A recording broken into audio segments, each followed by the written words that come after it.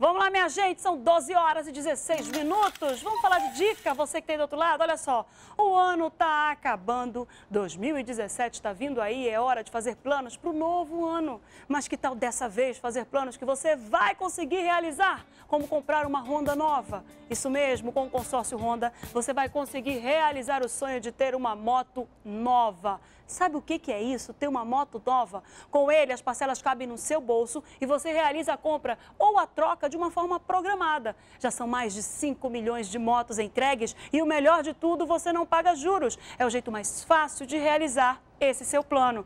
Quer uma Honda Pop 110i? Essa está com parcelas mensais a partir de 104 reais, sem juros. Presta atenção sem juros. Seu plano é uma Honda CG 125i Fan? Escuta só, com parcelas mensais a partir de 131 reais, sem juros, você pode comprar uma. Não perca tempo. Vá agora mesmo a uma concessionária Honda, faça o seu consórcio e comece o ano realizando o seu plano. 12 horas e 17 minutos. Você que tem do outro lado, não se esqueça de mandar fazer sua denúncia. 3307 3951 3307 3952. Ainda há pouco, Fred Rocha veio lá da rua 15 do Alfredo Nascimento fazer a denúncia da comunidade. Denúncia essa que ele mesmo já fez em maio desse ano. E eu pedi até para a Ingrid puxar lá para ver se a gente tinha tido uma resposta da prefeitura e a gente já teve a resposta que não. A Ingrid já me respondeu que não teve resposta nenhuma. O Fred Rocha vai trazer agora para a gente mais essa denúncia ali, ainda lá do Alfredo Nascimento, e conversando com os moradores. E ele traz agora a denúncia na tela para mim. Fred Rocha. Voltamos a falar mais uma uma vez direto do Alfredo Nascimento, a população daqui está pedindo melhores condições aqui para o local. A infraestrutura está realmente bastante precária. Os moradores estão pedindo, reivindicando mais uma vez as melhores condições aqui para esse local. Pedi para o repórter cinematográfico Tavares mostrar aqui o local onde eu estou, que é a escada que nós já mostramos. Os estudantes que passam por aqui, a situação precária. Porque aqui tem muita gente também de idade, os senhores que precisam passar por aqui, tanto de dia quanto de noite, para fazer é, alguma coisa, para cumprir aí com as suas obrigações, enfim.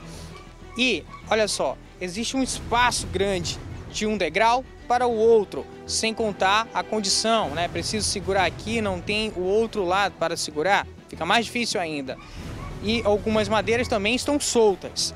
Ou seja, um, um perigo né, que é, as pessoas que moram por aqui precisam passar. E também o local, o local é muito escorregadio e para passar por este local tem que andar por cima das manilhas que foram colocadas pela prefeitura ainda, segundo os moradores, há cinco anos, mas tudo é improvisado por aqui, né? Pelo local, pela circunstância, isso não deixa dúvida para você que está assistindo o programa agora. Aqui os canos que vêm lá de cima de onde eu mostrei da ligação clandestina de água, porque também não há o, a ligação perfeita, a ligação que deveria existir. E a gente observa aqui, olha só o perigo. Anderson Soares, mostra aqui para mim. O poste de energia que foi improvisado pelos moradores para que eles também tivessem acesso a energia elétrica, tivessem a energia em casa. É muito próximo. Se eu esticar minha mão aqui, lógico que eu não vou tocar, mas olha só como fica bem próximo da minha mão e eu não sou nem uma pessoa alta. É bem difícil a situação aqui. São várias reivindicações, mas qual o senhor acha que é prioridade agora? Mano, prioridade agora tem que ser a limpeza e improvisar pelo menos uma escada provisória para nós subir, que é essa escada que eu fiz e alguns, é, com a ajuda de alguns moradores daqui, é, ela está se acabando, entendeu? Está deteriorando. Então a gente precisa de uma escada provisória, pelo menos até o momento de chuva, né? Chorrada agora que está difícil. Porque a, a, água que vem lá de cima vem muito forte, está alagando, entendeu? Todas as casas que estão aqui abaixo estão tá sofrendo é, alagações. E esse bueiro que está entupido, né? A limpeza pelo menos a limpeza e a escada provisória. Aí depois a gente vê a, a situação, porque é muita promessa. Promessa que é o que mais tem. Na hora de fazer. Na hora de fazer aquilo aí que a gente de esperar. E é só espera, espera, espera e entra ano, sai ano e ninguém vem. Obrigado pelas suas informações. Eu vou descer um pouco mais para ver se eu consigo falar com os moradores ali embaixo. Né? E mais uma vez preciso andar pela Manilha, porque é o local que tem aqui para quem passa por este local diariamente. Aqui tem a estrutura do que já foi uma escada por aqui, né? Tem até uma estrutura de concreto aqui, só que o mato também já tomou conta, porque como o morador reclamou agora há pouco, há muito tempo não tem uma limpeza aqui neste local. E a gente precisa andar realmente com cuidado, assim como o pessoal está ali embaixo, né? Andando com cuidado, um auxiliando ao outro para não cair, né? Lógico, sempre protegendo também a criança que está indo para a aula e precisa passar por uma situação dessa. Imagina como os pés não vão chegar lá na sala de aula, né? Essa imagem precisa sensibilizar alguém, porque ah, diariamente essas pessoas passam por isso.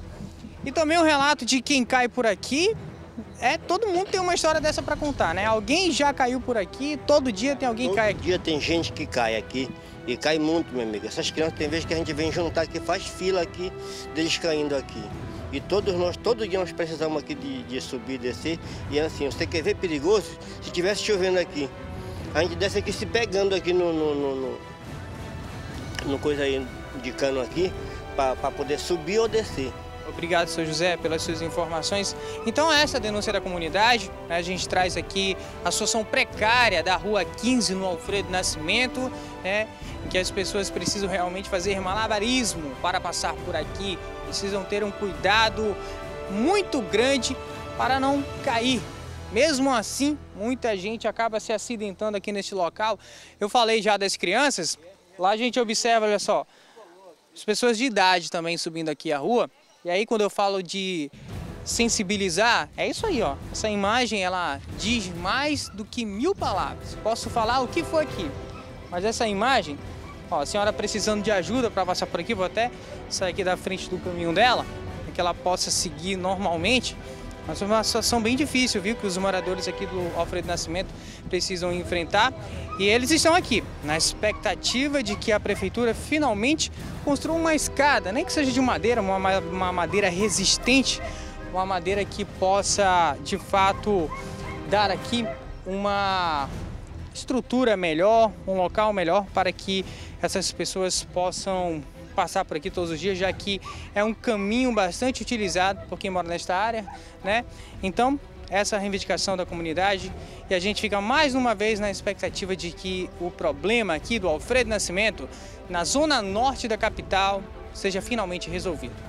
Eu volto com você ao estúdio. Obrigada, Fred Rocha. Nós já temos uma nota da Prefeitura, da Secretaria Municipal de Infraestrutura, dizendo para a gente quais são as providências que serão tomadas com relação ao Alfredo Nascimento. A Semif disse que a Rua 15 do bairro Alfredo Nascimento não apresentava qualquer infraestrutura, mas já executou 600 metros de drenagem profunda com a implantação de tubos de concreto para tentar melhorar a situação da Rua 15, com problemas, por exemplo, de alagamento e acúmulo de água, que era uma situação normal que acontecia lá sempre. Além disso, 18 caixas coletoras foram implantadas para o correto escoamento das águas da chuva e foi o que a gente reclamou hoje no início do programa sobre essa situação de alagamento, viu gente?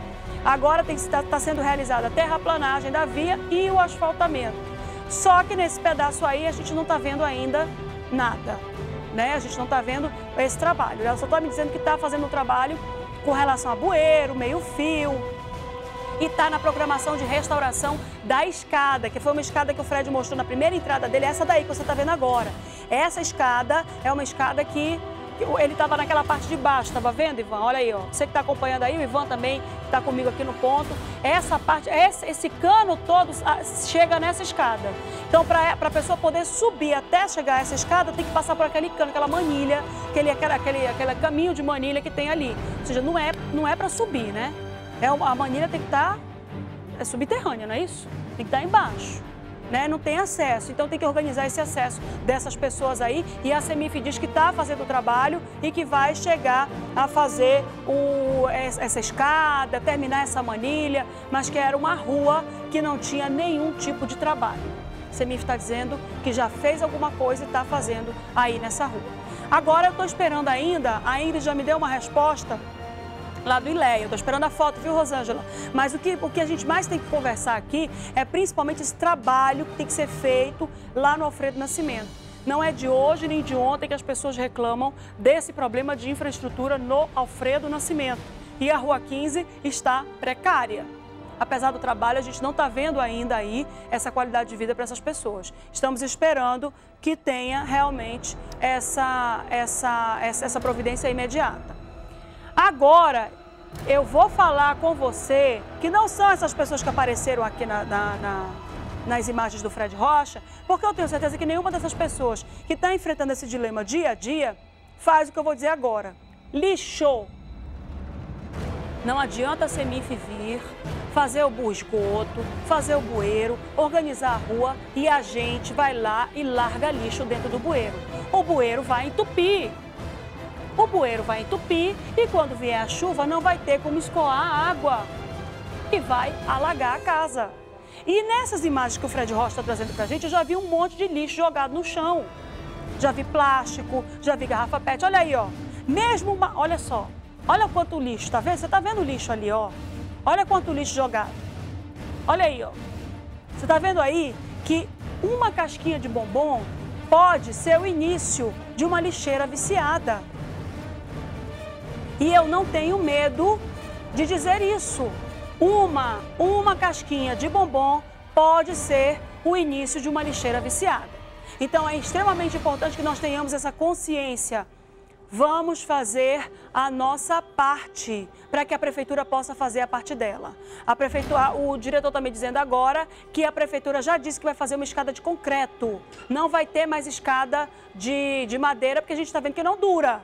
Então tem que ser feita uma escada de, de concreto. E a prefeitura já disse que vai fazer isso, já está estudando essa possibilidade. Então é uma boa notícia para o Alfredo Nascimento. A gente espera só a concretização, a realização dessa notícia.